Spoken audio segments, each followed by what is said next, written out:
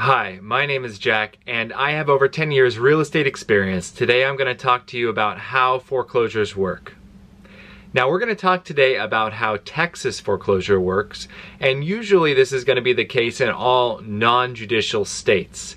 A non-judicial state just means that you do not need a judge to tell you that you can sell this home to the highest bidder. You can go straight to auction and sell it to the highest bidder.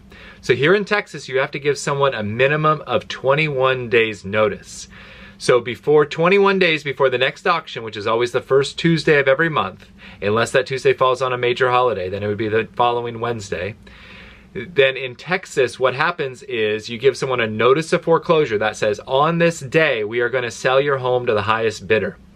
So the bank is going to hire a neutral third party trustee who's going to go to the auction and is going to sell that property. Let's say the bank is owed $300,000, including reasonable attorney fees. Then the property is usually going to start off at $300,000. Let's say it's only worth $300,000, so that means nobody's probably going to bid on it. Then the property is deemed sold back to the bank for $300,000. Let's say the property is worth $400,000 and it starts off at 300,000, then the bidding will start.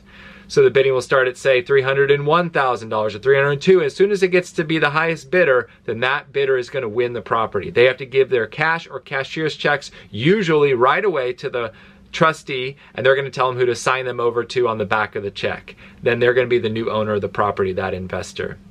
If the property owner, if the prior property owner and the borrower is still living in the property, they will likely get evicted within the next several weeks to several months whenever the new owner or the bank gets around to it. So that's how Texas foreclosures work. If you have any questions, please leave them in the comments. I'd be happy to answer them. My name is